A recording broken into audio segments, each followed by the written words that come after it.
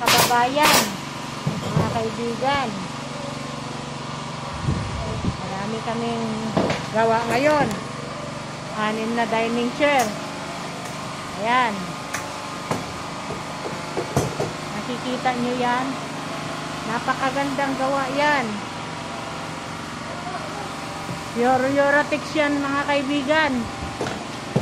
Mga kababayan ko sa Amerika. Pagawa na po kayo sa amin. Tawagan lang ninyo ako. Ayan. Ayan po. Nakikita nyo yan. Yan. Lalagyan pa namin yan ng design.